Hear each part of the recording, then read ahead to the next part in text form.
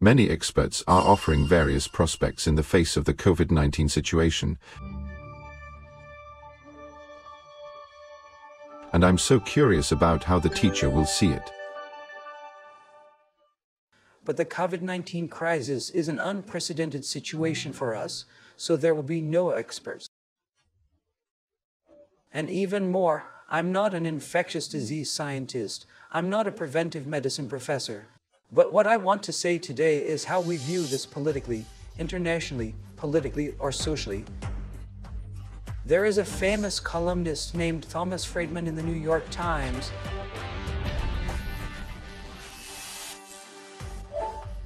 And because of the corona crisis, so-called BC, as before corona and after corona. So, as we divide into BC and add after Jesus, before Jesus, Vichy and Ek are becoming a breakthrough in the history of civilization. So let's study it together today because it has a lot of influence on us. I think this lecture will be a guide for the viewers who are watching the show. I think it'll be a good opportunity to think about it together. Teacher, what is the topic of today's lecture? The topic of today's lecture is the world after COVID 19 world.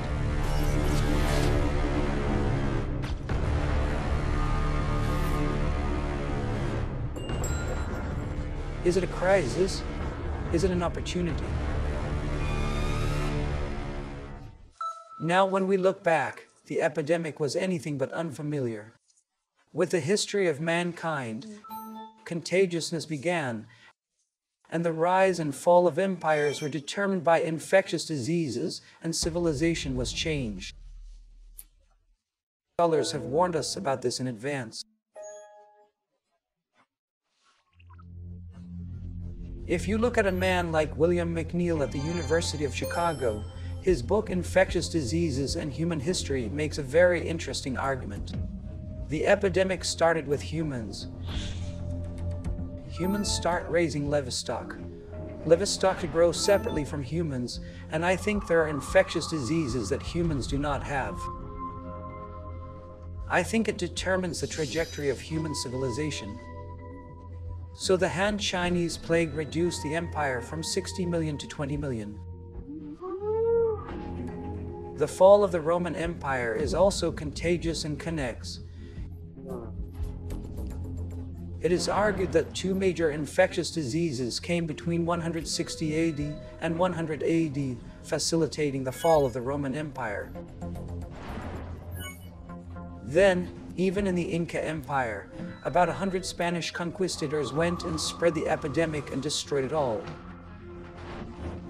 And 20 million people, like the Aztecs, were reduced to 1.6 million. The epidemic eventually affected human society. In the case of the plague in Europe in the mid-14th century, 25 million people, one-third of the population of Europe, died but it worked positively. Agricultural capitalism developed through this. Because a lot of farmers have died, so we have to industrialize them and move on. Those opened up agricultural capitalism, and eventually agricultural capitalism became industrial capitalism, financial capitalism, and capitalism developed in Europe. So these big events brought about a huge change. It worked as an opportunity. And then in 1918, the Spanish flu, which was all over the world, almost 50 million people died. But this incident led to the creation of the concept of public health.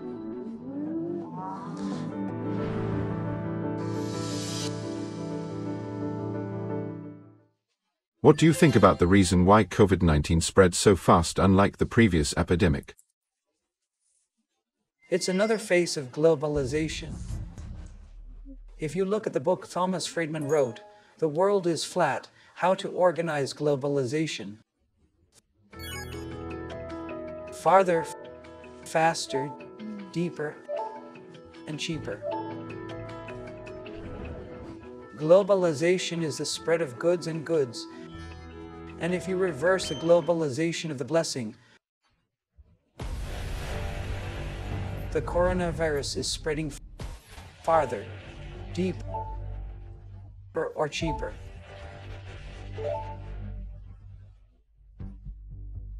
Our flights are now very well developed, both in terms of flights and in terms of technology. The interconnected network is like goods and goods are moving, and eventually barriers are moving.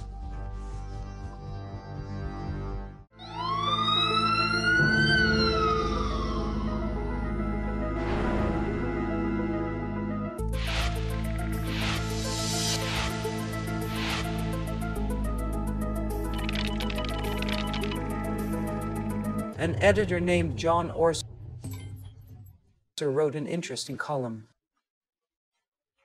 The corona crisis raises basic problems with Western moral philosophy. What are some of the philosophical issues in the West? The first is the theory. Here we hear John Rawls, a professor of philosophy at Harvard University. John Rawls wrote a book called Justice in Definitive English, which is like this. Let's think about what kind of country to create with a veil of ignorance. What kind of constitution are we going to make except for men and women, the rich and the poor, race and education? Then everyone will be the first to ask for help to the most difficult people. Because you'll get help when you're in the most difficult position. If you look at the stationery of our Orient, you will argue that you should first help the most difficult person when you make a constitution. In the end, that should be the basis of the political community.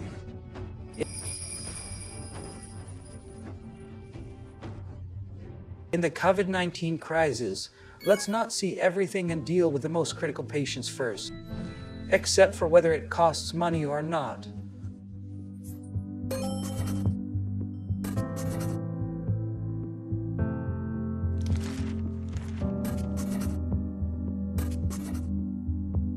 On the other hand, there are people who completely criticize this. It's a utilitarian approach.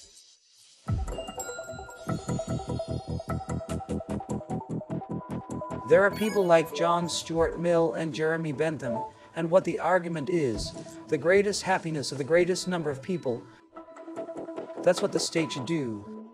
What the state has to do is to make sure that even at the expense of the few, it benefits the many. And the most important way to formulate it is to analyze the cost effectiveness. That's a very traditional ethical dilemma in the medical community. I mean, there's a war. Who should we treat first? It's called a triage. You have to fix it quickly and go out and fix it quickly and find someone who can fight. On the other hand, let's leave the dead alone. Ultimately, the theory of survival of the fittest is that those who can go out and fight are saved and those who will die are left alone. It's an incredibly utilitarian interpretation. Then, when the corona crisis comes, we don't have to save the elderly. So let's let them die and save the young first. That's what utilitarianism is. Italy is a representative place.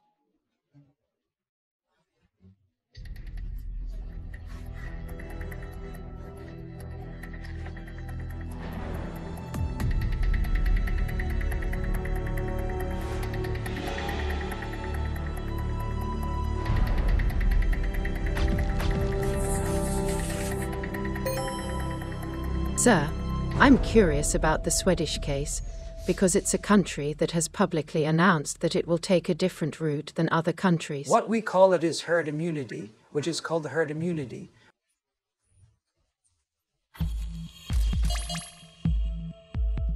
Which means that 80 to 90% of people in a particular community get COVID 19, and if antibodies get caught, there is no one to attack anymore. That means that you have herd immunity, so it costs a lot less. Should we look at it as utilitarianism when we look at the cost? First of all, there are test kits, so it's good to select them, but it's hard to respond to a large number of confirmed cases without being selected. So the most economical way is for everyone to Do you accept caught. that? The people. In some ways, it may have made a strategic choice from a quarantine perspective, but the Swedish people prefer it if they want to do normal activities, including young people.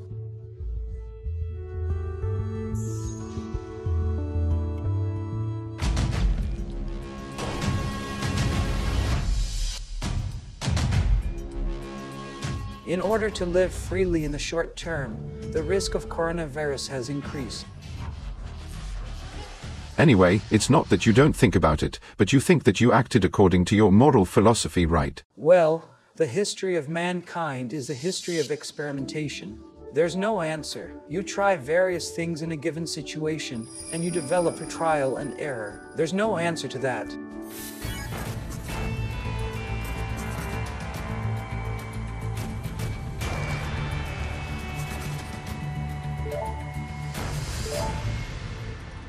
We're going to go further. It's a philosophy called liberalism. There are philosophers like Hayek and Robert Nozick. He has now written a book criticizing the book Justice. Liberalism and liberalism must be distinguished. Leave this liberalism to the individual. Personal freedom is more important than anything else.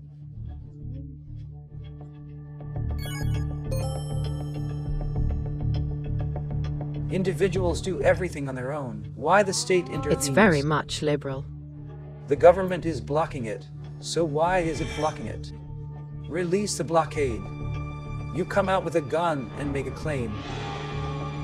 Give me freedom or death. Even if I die, I die. The government won't die. Just guarantee individual freedom and rights. There are many people with that philosophical creed. Thank you.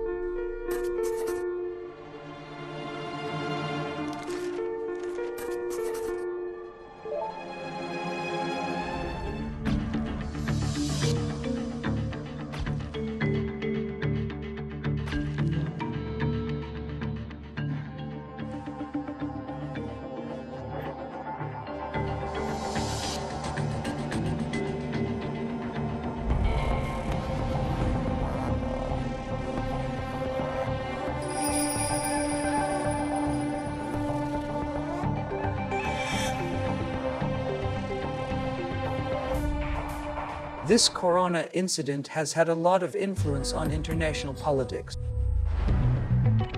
First of all, what is the concept of security?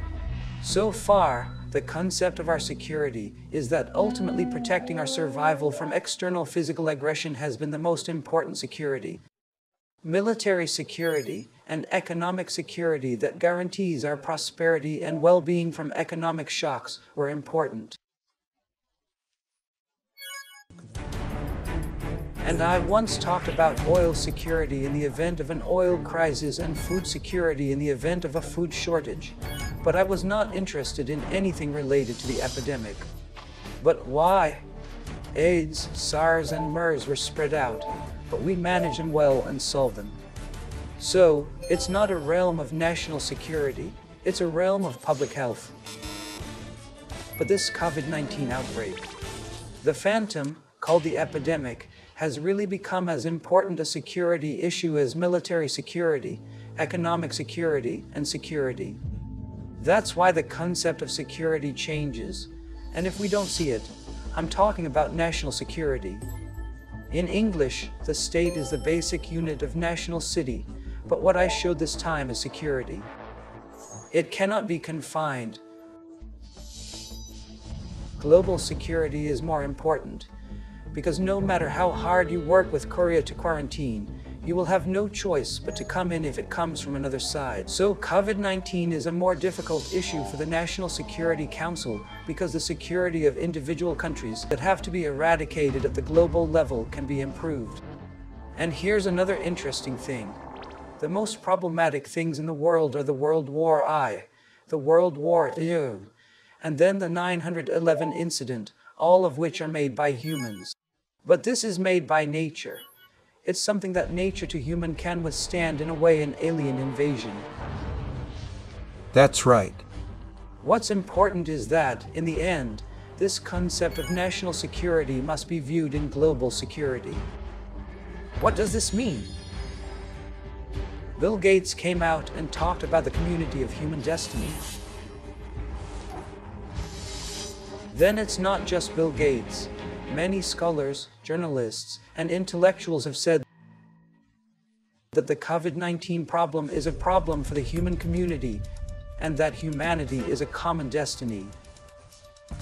In the end, when we respond to the coronavirus, it turns out that an international cooperative approach is quite important rather than an individual country centered approach.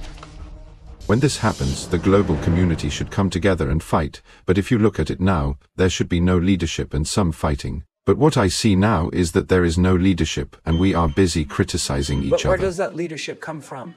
It's from company. Yes, I felt it more in the company.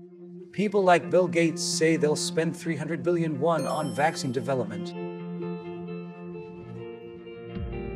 And then we, Sun Junghui, already have a lot of people saying that we'll provide a million test kits at the beginning of the crisis.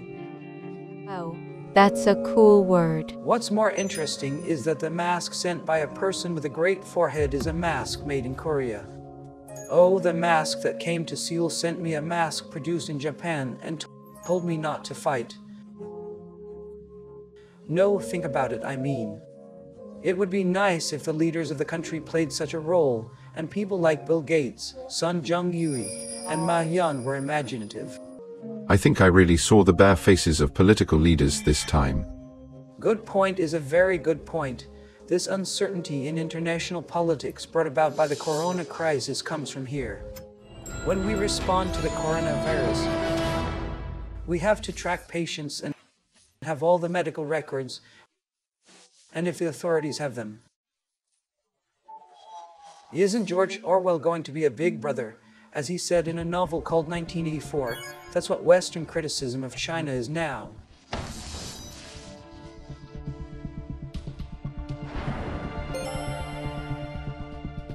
China is planning to use all of its artificial intelligent artificial intelligence systems to recognize iris, face, and fingerprints to have all 1.4 billion people.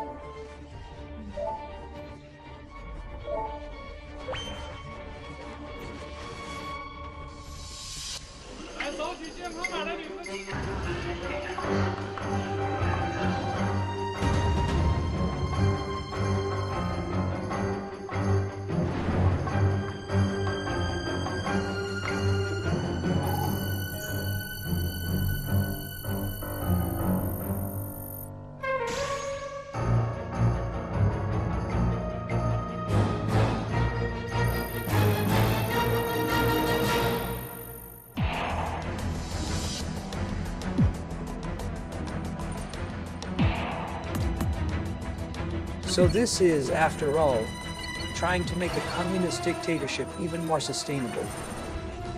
There is a positive aspect of us analyzing our movements and establishing a surveillance system.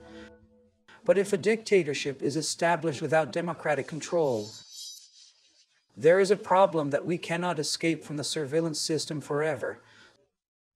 So we have no choice but to undermine our freedom. What surprised me was that while conducting epidemiological investigations in Korea, we quickly identified the person's movements through situs, payment details, and bis. In fact, I was afraid of such rapid extraction of information. Is there a device in place to control these things? That's right. I was worried about that. We are a living democracy, and the regime can change at any time. And if we see a new dictatorial remnant through control and surveillance, we can change it. That's why a democratic system is important. While I was working this time, I think this surveillance authoritarianism was Ah, called. it's already there? It originally has a calm root. But I think that the people may have caught it this time. In a way, I think it's better that we're aware of this situation that's not taking root anymore. That's a good point. I can keep him in check. And I think surveillance authoritarianism is a little too popular to take root in our country because they're not that easy. I think that's the characteristic of getting up when you cross the line. People are interested in politics. If there is a people who are awake, they can watch everything. But it's different from before. It's a society that can spread to millions in real time if you make an important complaint with the truth on YouTube, which is full of information, says is activated, and has 500 viewers. So I think that's a disadvantage, but that is the power of democracy. Because I believe in citizens, and because I believe in a constitutional democracy, I think the reproducibility of surveillance authoritarianism is low. In fact, I agree with you. In the past, I had too much personal information about my social security number. I had doubts and resistance about whether this condition, which is generally open to the public, was right. But after this incident, I thought that this system itself was not negative. Then let's go over here. What kind of response system is actually desirable?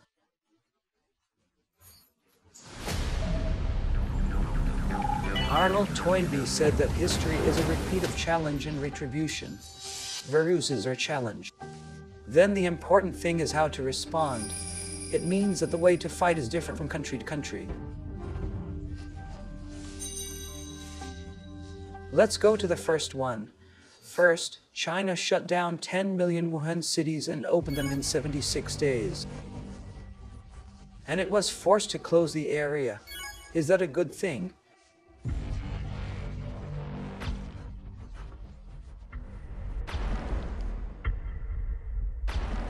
There is a lot of criticism from the international community right now. What did the US do? In the beginning, President Trump has nothing to worry about. It's like a flu, and it's going to pass soon, so he takes a passive response in the beginning. And then watch the US citizens do it. I'm asking for freedom or death to die with a month-long lock-in. Now that I did that, the number of confirmed cases list. Israel was said to have become a good role model at first. But Israel was completely shut down as soon as it was created. But eventually,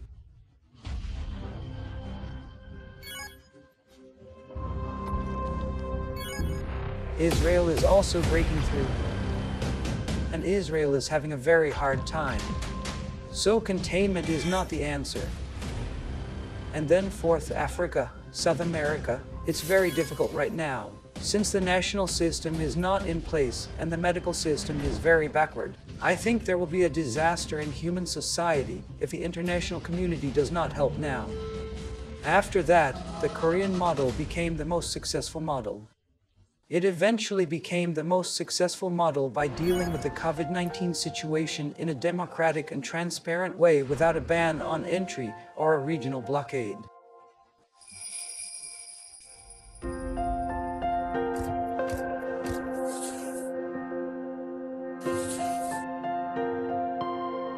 Then what does the success model of Korea mean? Korea had the basics. Infrastructure such as medical insurance was well equipped. That's the most Korean important thing. students who do not have medical insurance in the US have to wait more than a week for examination first and pay $15,000 if confirmed. I can't get it even if I want It's to. It's really expensive. They say you have to spend tens of millions of won. In Korea, medical infrastructure is well equipped. Pharmacies, hospitals, and hospitals are everywhere, easy to go, and simple medical care systems are well equipped. Next, we were able to cope with this well because we suffered in the past. There was a lesson during SARS and MERS, and the basic manuals for the quarantine system, quarantine system, and movement tracking were all in place, and we followed those manuals. And then there was the dedication of very good doctors, nurses, and volunteers.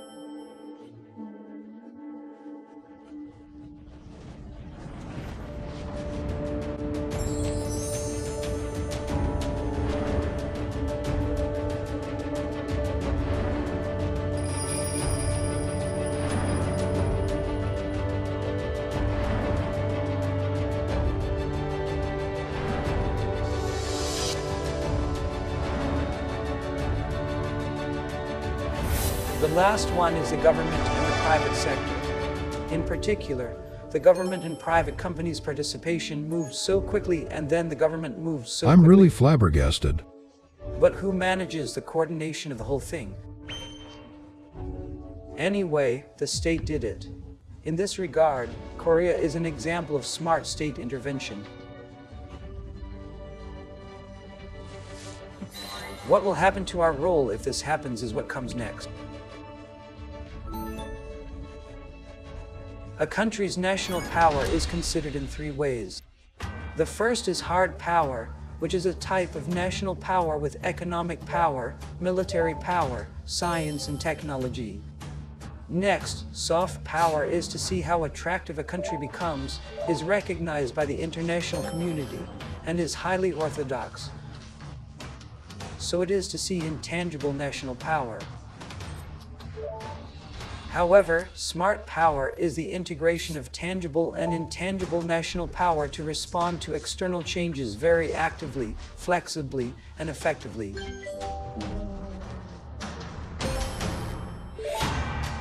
It's the ability to make decisions.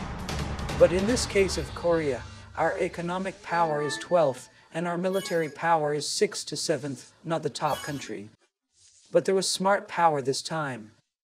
The state intervened very smart this time, bringing a twist to the corona crisis and creating a new international standard. It was made because of smart power, which is what greatly enhances our soft Right. power. If that happens, as I said earlier, if you create an international organization and jointly respond to infectious diseases, the Korean doctor's so. voice will Yeah. probably be the loudest. Starting with diagnostic kits, quarantine, quarantine, and tracking movements will not be easy in other countries. But our government has already made a manual, so we are sharing it with the international community here. I think everyone will be curious about what to do in Korea if there's an infectious disease or epidemic next Okay, time. call us. It now establishes itself as a country that has contributed to the international community.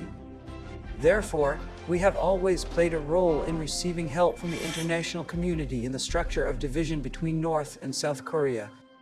And since we can share our role model with the international community for the first time, I think it will be significant this time. Teacher, if our country cooperates with the international community and soft power increases, can racism and other things be alleviated? We have to bring it up on the agenda. Not only the corona crisis, but also the continued increase in soft power will raise our voices in the free international community. For infectious diseases, climate change, proliferation of nuclear weapons, racism, and cultural hostility.